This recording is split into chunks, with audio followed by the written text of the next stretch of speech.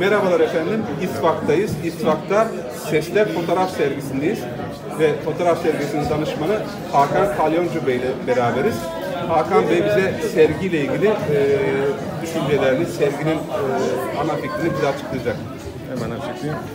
Serginin ana fikri aslında eee fotoğrafçıların yani yolun başında olan fotoğrafçıların kendilerini zorlama adına eee, zor bir konu seçerek yani sesler gibi soyut sayılabilecek bir konu seçerek eee, kendilerini geliştirerek fotoğraf üretmelerini hedefliyor.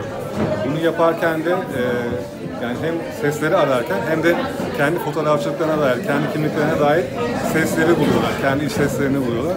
Asıl hedeflediğimiz o oldu. Yani e, temel fotoğraf seviyesinde eğitimleri var. Onun bir tık daha üstüne çıkmaya çalışıyorlar. Bunlar da onun sonuçları. E, kaç tane fotoğraf sanatçısı veya fotoğrafçının e, yer alıyor bu sergide? 11 fotoğrafçı, 33 tane fotoğraf var şu anda sergide. E, sergi ne kadar zamana kadar açık kalacak, gezilebilecek?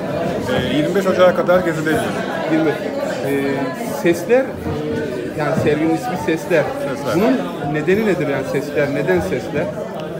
Çünkü e, işitsel bir duyu, görsel bir ifade biçimiyle anlatmak istedik. Yani zor olduğu için sesler seçildi. Yani düşün mesela sesleri fotoğrafta nasıl anlatırsınız? İşte bunlar onun Çok teşekkür- neticeleri. Ben çok teşekkürler, ederim. sağ olun. Teşekkür ederim, sağ olun.